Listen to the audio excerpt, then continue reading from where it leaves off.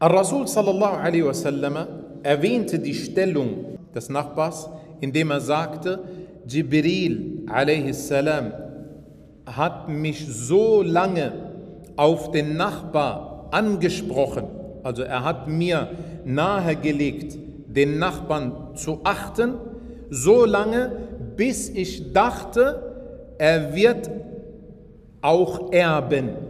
Also sei gut zum Nachbar, pass auf auf deinen Nachbar, mach deinem Nachbarn nichts Schlimmes. Dein Nachbar ist wichtig.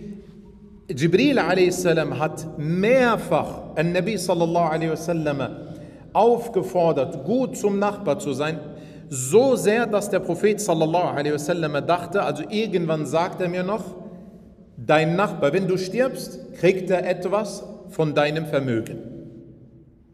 Was aber nicht der Fall war. Aber das zeigt, wie sehr die Stellung eines Nachbars ist.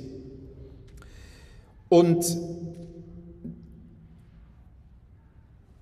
dies ist ein Zeichen des Glaubens, wie der Prophet sallallahu alaihi wasallam sagte, wer an Allah und den jüngsten Tag glaubt, der soll großzügig sein gegenüber seinem Nachbarn.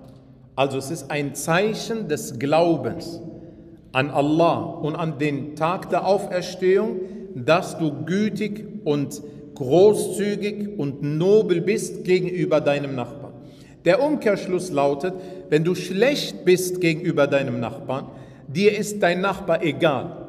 Du bist laut, äh, du, bist, du hältst dich nicht an Abmachungen, zum Beispiel jeder ist mal dran, äh, den Eingang äh, sauber zu machen und so weiter. Du hältst dich nicht, du versperrst den Weg mit deinen Sachen. Allahu a'lam, was du machst. Das ist kein Zeichen des Glaubens. Ganz im Gegenteil. Das bedeutet, du hast eine Krankheit im Herzen. Würdest du an Allah glauben, würdest du an den Tod glauben, an die Auferstehung glauben, würdest du deinen Nachbarn respektieren. Und dann würdest du darauf achten, dass du deinen Nachbarn nicht belästigst.